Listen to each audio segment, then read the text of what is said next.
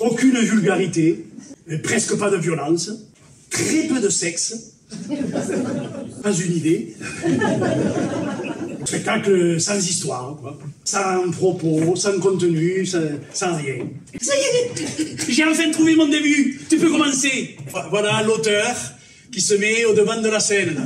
C'est pas moi qui me suis là, c'est le metteur en scène. C'est lui qui s'est écrit les répliques pour lui. Il fallait bien que je le mette quelque part.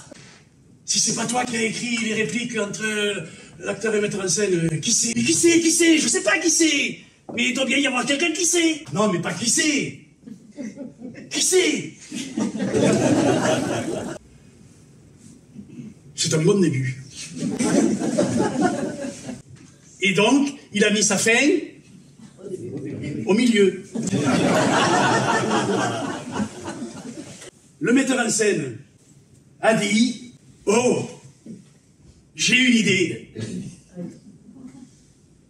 Si on construisait le spectacle comme un flashback, un flashback, si on commençait par le début. Rassurez-vous, pour bien marquer la fin, je vous ferai un signe. Je me passerai la main dans les cheveux. Ta gueule Belle conception de la liberté d'expression. J'écris ce que je veux, je fais dire à l'acteur ce que je veux, je le mets dans l'ordre que je veux.